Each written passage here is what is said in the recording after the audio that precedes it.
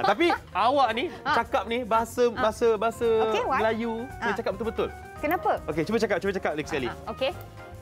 Assalamualaikum, cikgu. Assalamualaikum, cikgu.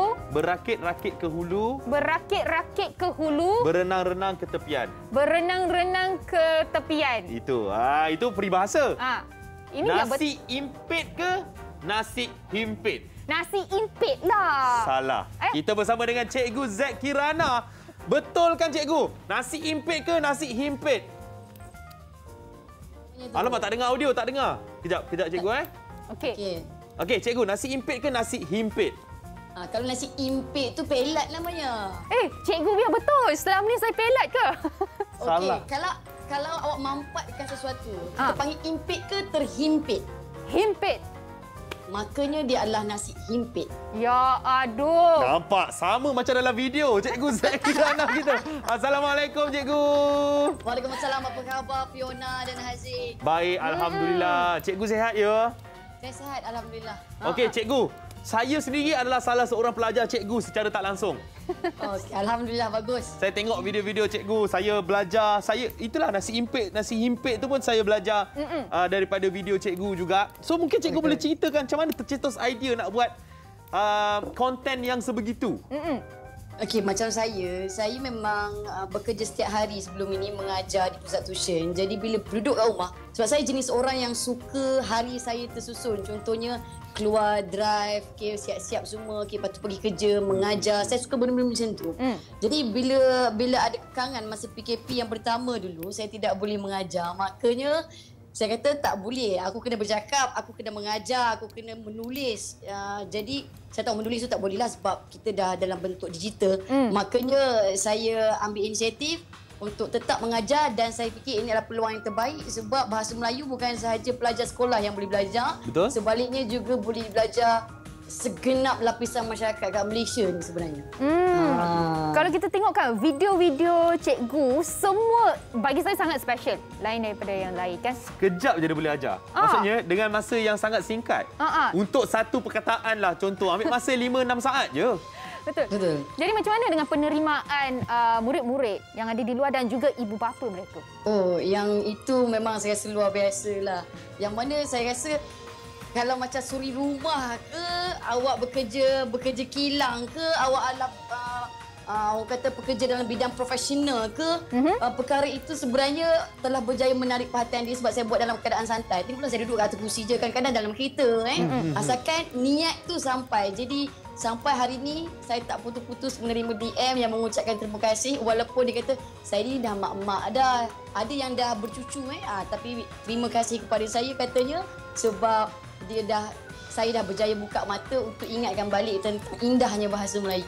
Betul. Hmm, Saya baru tengok yang pasal tempik dengan rempik itu. Oh, okey okey okey. Saya suka saya suka ajar orang berfikir logik di sebalik ejaan yang sebenar. Ha. Okey. Ah, critical thinking. Yang itulah yang itulah yang saya rasa uh, hasil daripada pembelajaran saya selama ini dalam pengajian Melayu, mm-hmm. saya letakkan dalam masa kurang 15 saat dalam setiap satu Insta story. Mm-hmm. Betul?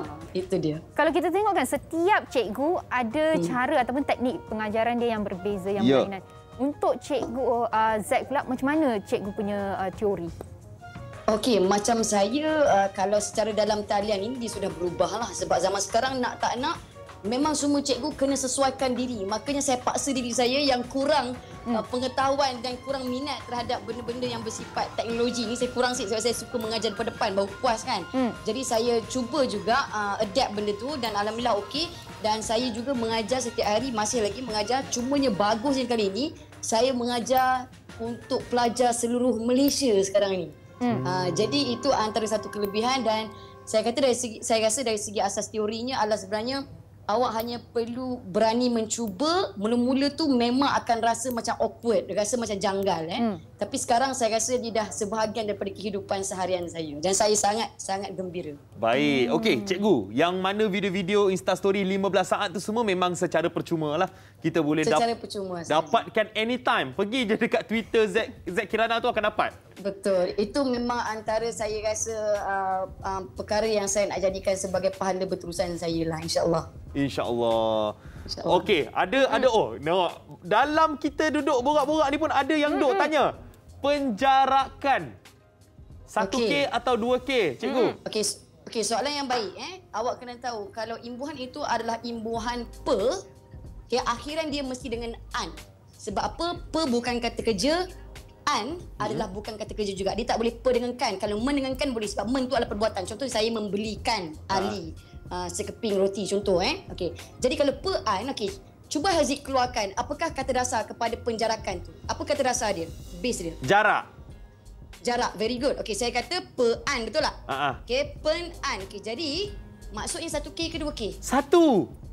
Penjaraan. Tapi sebut dari laju dia akan jadi penjarakan. Okey, dah dah terjawab lah jawapan jawapan dia 1K bukan 2K. Okey, kalau saya tukar pula, saya tu, saya cuba yang lain pula. Okey. Kalau saya kata saya perlu menjarakkan uh, fizikal saya dengan awak contoh, okey. Hmm. Menjarakkan imbuhan men mesti dengan imbuhan kan, betul? Betul. Okey, jadi kalau kata dasar jarak dan men mesti dengan kan, jadi 1K ke 2K yang tinggal? Fiona. 2K. Very good. Jadi kalau saya pakai men kat depan, makanya dia adalah menjarakkan. Kan. 2K. Ah. Kalau kita nak makan, 1K je. Ha, satu K. tak payah pun tak apa. Terus masuk dapur makan. Terus. Cikgu, macam mana kita nak uh, dapatkan uh, video-video cikgu untuk kita tengok, untuk kita belajar, cikgu? Okey, boleh cari saja dekat Instagram saya dan uh, pengajaran saya dalam Insta- Instagram adalah secara percuma saja. Saya nak saya just nak ceritakan, nak kongsikan betapa indahnya bahasa Melayu dan kepada para pelajar, mm-hmm. mereka juga boleh tengok uh, saya ada buat sebab saya ni orang sastra juga. Jadi saya ada buat juga prosa klasik dan prosa tradisional Ya. dekat YouTube channel saya dengan nama yang sama juga Zaid Kirhan. Yes. Okey, cikgu. Kalau kalau kita tengok eh, uh, cikgu-cikgu perlu membuat sesuatu yang kreatif Mm-mm. Betul. di masa sekarang ini untuk mengajar uh, murid-murid, Mm-mm. kan? Mm. Tapi kadang-kadang penat tau cikgu. Penat. Memang kita Betul. kita tahu penat mental, penat fizikal. Jadi sebagai Betul. seorang cikgu yang buat konten tersebut tu, macam mana dengan pelajar-pelajar yang mungkin tak menghargai siap ponteng kelas, siap tak Hmm. join kelas online tu cikgu? Uh, kita fikir macam ni je. Masa sentiasa bergerak pantas dan awak tidak akan boleh dapatkan semula masa yang dah berlalu pergi. Okay, jadi setiap kepayahan yang awak rasa susah lah nak start benda ni. Tapi ingat, Allah bisa tegal biasa. Kalau awak rasa susah mula-mula, tapi awak cuba juga uh, aplikasikan perkara itu dalam kehidupan awak, saya janji dia akan jadi satu perkara yang membantu awak pada masa depan. Dia antara nak dengan tak nak sahaja. Mm. Nampak? Ayat cikgu Allah bisa tegal biasa. Alah. Faham tak maksudnya apa? Eh, excuse me, saya BM dulu. A+. Ha. Apa maksudnya? Oh. Alah, bisa tegar biasa. You buat macam ni, lama-lama you akan biasa. Betul. Oh, bagus. Alright, jadi cikgu terima kasih banyak kita bangun. Terima Bangun. kasih juga. Terima kasih kelas. Terima kasih Kasih, cikgu. Seronok pula. Okey cikgu. Assalamualaikum. Okey, terima kasih. Thank Jaga diri baik.